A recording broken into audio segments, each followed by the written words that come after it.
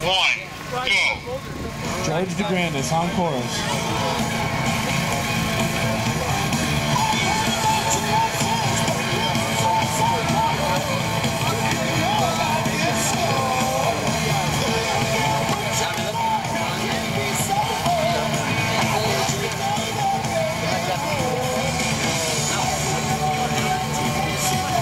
George finishing off with